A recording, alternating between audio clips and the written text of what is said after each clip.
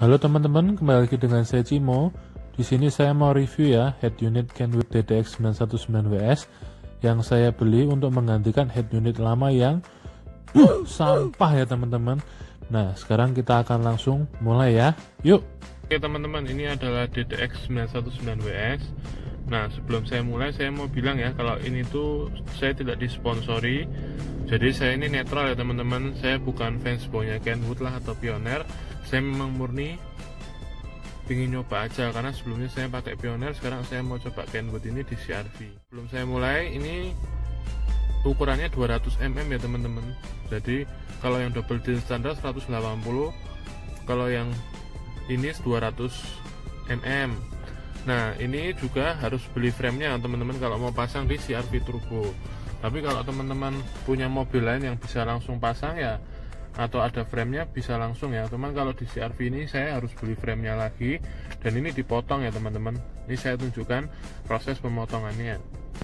Teman-teman bisa lihat di sini kalau memang double din standar itu ukurannya 180 mm dan yang saya pilih ini ukurannya 200 mm jadi tidak bisa masuk ke ukuran double din standar ya teman-teman. Harus dipotong. Saya beli di e-commerce ya teman-teman. Frame CRV turbonya itu harganya ada yang antara 500 sampai 700 ya. Saya beli yang kebetulan dulu belinya yang 400 ribu. Teman-teman bisa bandingin sama yang white itu harganya selisihnya jauh sekali ya teman-teman. Gila. Bisa satu setengah sampai 2 juta 3 juta. Kalau saya pribadi sih saya lebih memilih yang biasa ya teman-teman yang 500 ribu saja. Lalu saya potong karena ngiritnya sangat-sangat sangat jauh ya teman-teman. Jadi saya rekomendasikan beli frame yang double din standar saja lalu dipotong. Oh iya teman-teman karena ini ukurannya double din standar yang dipotong tentu saja ini akan menimbulkan efek samping ya. Efek sampingnya adalah otomatis nggak akan bagus ya teman-teman. Jadi ini kalau ditekan masih goyang ya teman-teman ditekan ini. Cuman nggak usah khawatir ini saya udah coba jalan banter jalan di tempat yang berger bergelombang. Ini tetap nggak bunyi kruk kruk kruk kruk kruk kruk kruk itu enggak ya. Jadi ini kalau ditekan kuat baru agak ketekan ya kayak kayak nggak nggak ada bautnya gitu loh. Tapi nggak apa-apa memang seperti ini karena saya nggak beli frame yang 2 juta tapi saya beli yang 500 ribu dipotong sendiri. Lebih hemat jauh dan nggak apa-apa ya teman-teman secara estetika sama aja. Jadi kalau saya sih milih yang biasa saja. Oke yang pertama kita dapat dua USB teman-teman. Dua. Jadi saya udah coba ini nggak bisa ya teman-teman. Kalau kita pakai dua flash disk sekaligus dia nggak akan baca karena di sini cuma muncul USB nya satu. Dan saya juga udah utak-utik dia nggak bisa istilahnya uh, gimana ya teman-teman? Nggak bisa baca dua flash disk sekaligus. Jadi harus salah satu dicabut jadi kegunaan satu ini apa? Tolong saya dikoreksi ini untuk Apple CarPlay dan Android Auto ya. Pertama ya ada CD berarti bisa, bisa CD ya teman-teman ya. Tapi cara bukanya ini melalui ini teman-teman. Nah ini bisa kayak gini ya teman-teman. Nah, jadi ini bisa masukin CD jadi teman-teman nggak usah ini ya tidak usah khawatir ini bisa terima CD nice. Selanjutnya adalah USB ya teman-teman. Di sini teman-teman bisa muter musik-musik dari YouTube atau dari video player MV lainnya untuk bisa diputar di sini ya teman-teman. Gambarnya bagus terang dan gak ngelek ya teman-teman. Jadi ini memang responsif dan bagus. Mau baca flashes baca apa cepet ya teman-teman. Jadi beda kayak head unit saya yang lama yang sampah itu. Itu jauh sekali ya rasanya kayak naik ke surga ya. Jauh banget tingkatannya teman-teman. Oke. Okay. selanjutnya teman-teman ada Apple CarPlay dan Android Auto. Nah di sini saya mau tunjukin ke teman-teman ya Android Auto itu seperti apa. Yuk kita lihat Oke teman-teman ini adalah Android Auto ya sistem yang terintegrasi punya OS sendiri dan dikembangkan oleh Google. Nah di sini berbeda ya dengan screen mirroring. Kalau screen mirroring kan apa yang ditampilkan di dalam HP persis seperti yang di head unit. Cuman kalau Android Auto itu terpisah ya. Jadi dia kayak punya OS sendiri gitu loh teman-teman. Tapi perlu diingat tidak semua HP ada Android Auto dan tidak semua eh, iPhone punya Apple CarPlay ya saya udah coba. Jadi teman-teman harus pastikan di dalam HP-nya harus ada settingan Android Auto. Kalau tidak ada nggak ada. Saya contohnya coba di Samsung S8 tidak ada Android Auto. Di S20 Plus ini sudah ada ya. Jadi tidak semua HP ada Android Auto.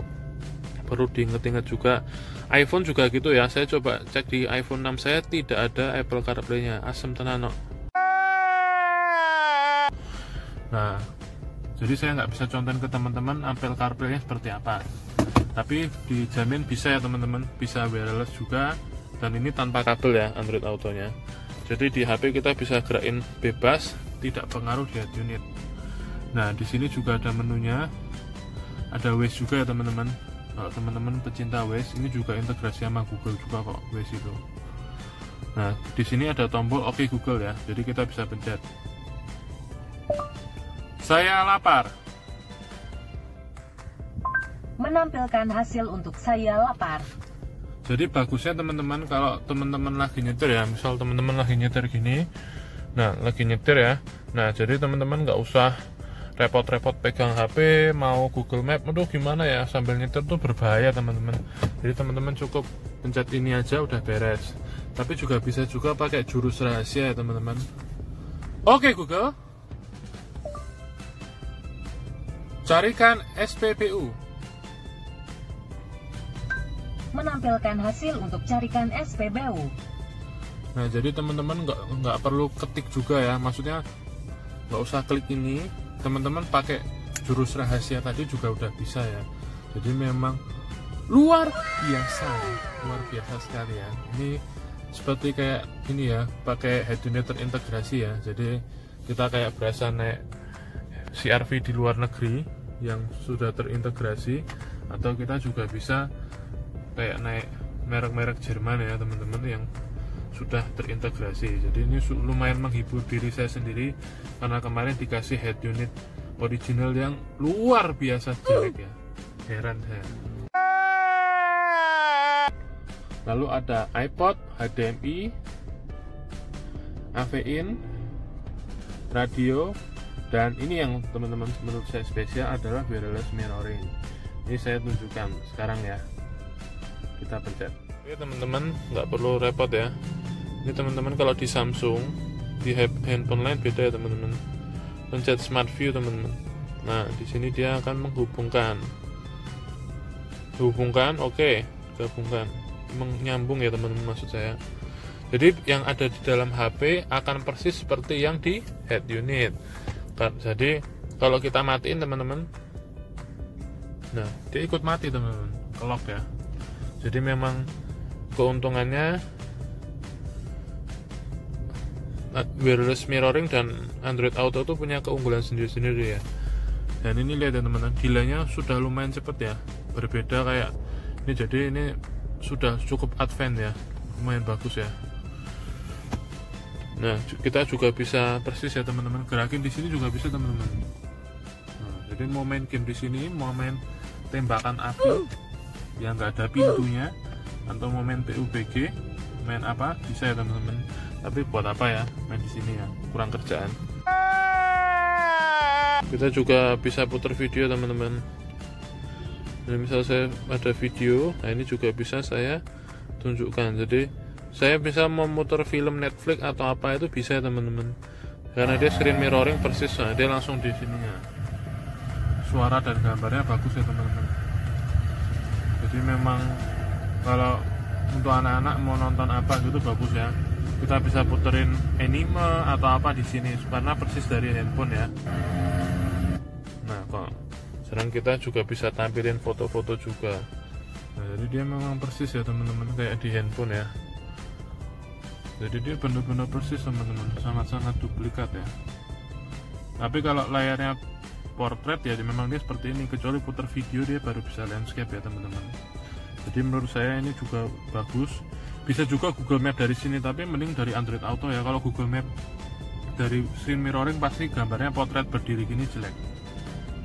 Selanjutnya ada Bluetooth dan telepon ya teman-teman. Jadi Bluetooth dan telepon ini basic ya saya udah coba untuk telepon bagus ya teman-teman suaranya juga jelas jadi nggak masalah Nah, yang terakhir, gimana sih teman-teman suaranya? Gimana sih peningkatannya setelah ganti head unit ini? Nah, ini akan saya tunjukkan ya ke teman-teman gimana suaranya setelah menggunakan head unit ini. Ini sudah saya puterin ya teman-teman lagunya. Sekarang kita mau tes gimana suaranya. I just wanna keep moving. Keep my head up when I act. Head up, that's a fact. Never looking back I'ma keep myself on track. Keep my head up, staying strong. Always moving on. Feel I don't belong. Tell my boss to move along. Push myself to be the best. Die with no regrets Live with every breath See my message start to spread And I had so many dreams. And then you hit your teens Life ain't really what it seems. Try to find out what it means Always do it on my own So I gotta get through it. And the only thing I know is to love what I'm doing. Never give up, never slow Till I finally prove it. Never listen to the no's I just wanna keep moving. Yeah, I put it all aside It's my only medicine, I do, I'm just being genuine. Yeah, I'm sick of being screwed. Feel my own adrenaline. Yeah, I do just what I do And I hope you let me in, let me in, yeah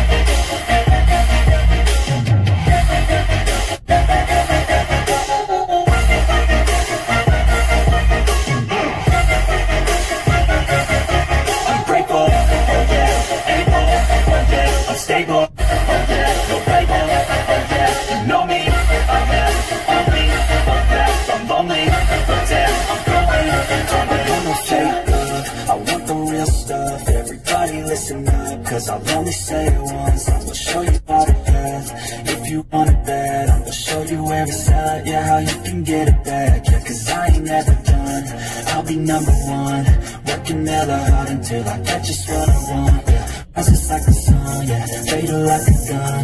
Shoot's gonna shoot and I'm gonna shoot until I fall Always do it on my own So I gotta get through it. And the only thing I know Is to love what I'm doing. Never give up, never slow Till finally prove it. Never listen to the no's I just wanna keep moving. Yeah, I put out all the stuff Only medicine, yeah. Everything I do, I'm just being genuine Yeah, I'm sick of being rude Feel my own adrenaline Yeah, I do just what I do And I hope you let me in, let me in, yeah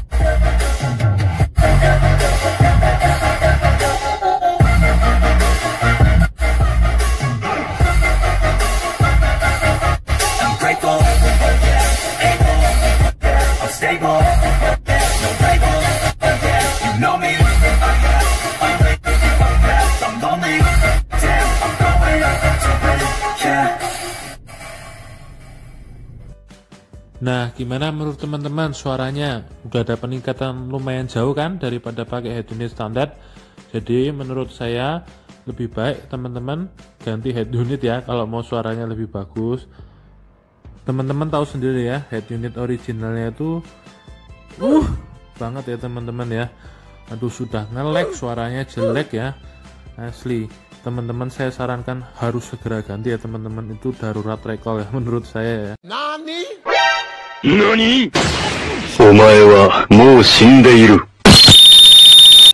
tapi dengan teman-teman ganti head unit saja, menurut saya itu suaranya udah peningkatan jauh ya teman-teman.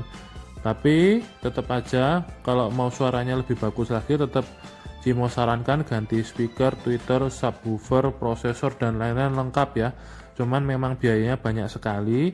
Tetapi kalau menurut saya ganti head unit aja sudah cukup untuk telinga awam saya yang kotor ini.